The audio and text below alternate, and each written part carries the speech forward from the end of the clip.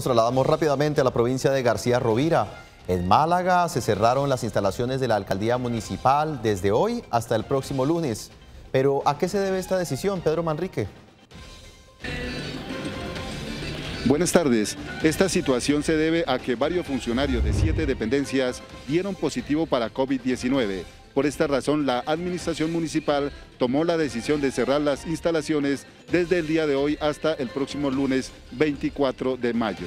Tenemos eh, compañeros, funcionarios públicos eh, que están en este momento en, ventana epidemiológica activos. Eh, entonces, como actividad de prevención y de intención de cortar la cadena de contagio, el señor alcalde en, en Consejo de Gobierno decidió hacer un receso de labores para pues tener mayor tranquilidad.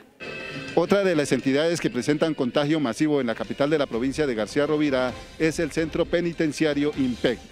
Tenemos el resultado de 20 casos positivos y activos que están siendo manejados por su previsora como asegurador.